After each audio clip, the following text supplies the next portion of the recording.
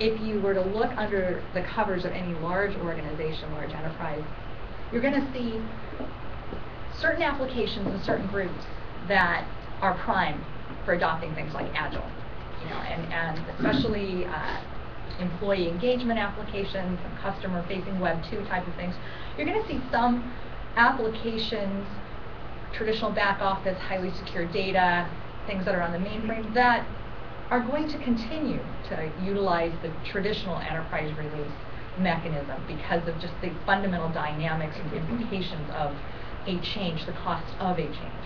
And there's not that driving desire in that context to have this, this rapid iteration. As you, I see